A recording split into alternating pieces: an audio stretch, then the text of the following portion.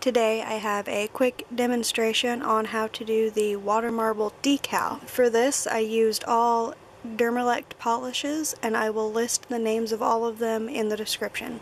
So I've already prepared my water marble and I let that dry overnight.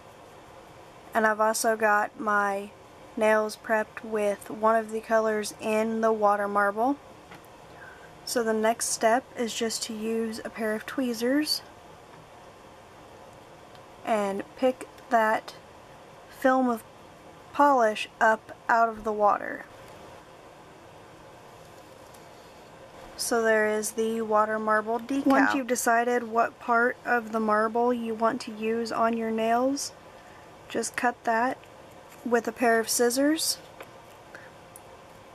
about the same size as your nail and using this method you get a lot more use out of the marble whereas if you dip your finger in you've only got that little section and you're throwing out the rest. This you can use really pretty much the whole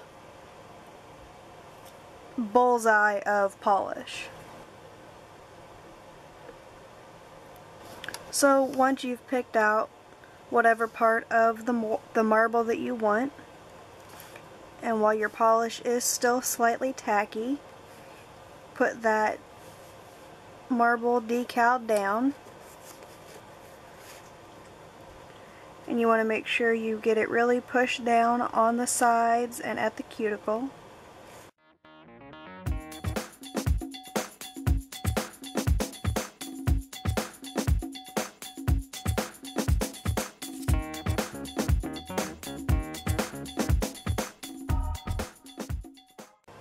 Before doing any cleanup, I like to apply my top coat just to sort of make sure, make sure those edges of the decal are sealed to the nail. Or I'll apply a second coat after I've gotten all the excess off here. I'm now cleaning up the little excess bits of polish from the water marble decal that are on my skin.